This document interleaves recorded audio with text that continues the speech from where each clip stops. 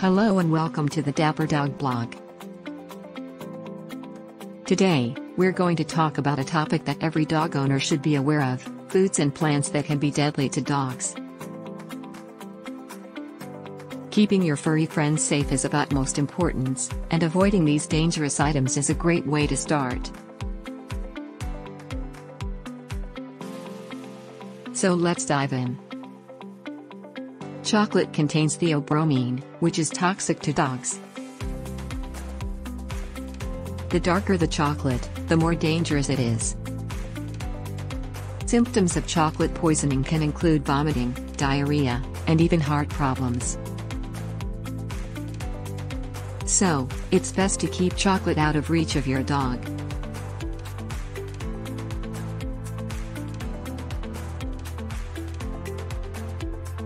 Grapes and raisins.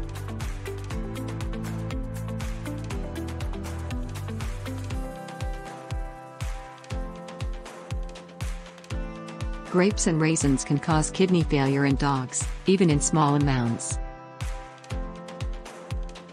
If you suspect your dog has consumed grapes or raisins, it's important to seek veterinary care immediately. Onions and garlic.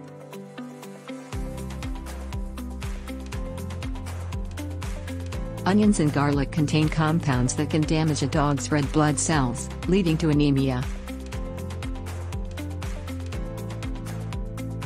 Symptoms of onion and garlic toxicity can include weakness, breathing difficulties, and vomiting. So, it's best to avoid feeding your dog these items. Avocados Avocados contain persin, which can cause vomiting and diarrhea in dogs. In addition, the pit of an avocado can pose a choking hazard.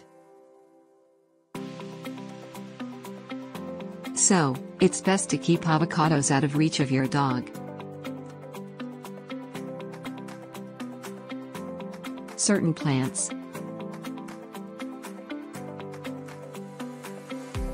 There are many plants that can be toxic to dogs including lilies, daffodils, and sago palms.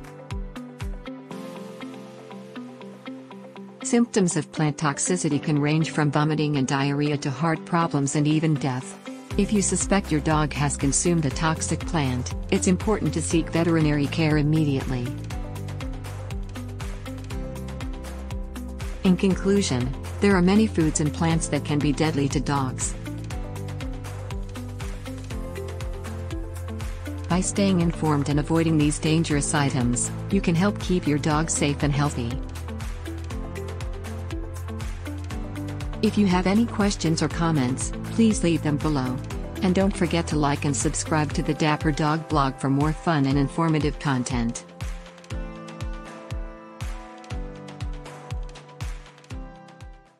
Thanks for watching.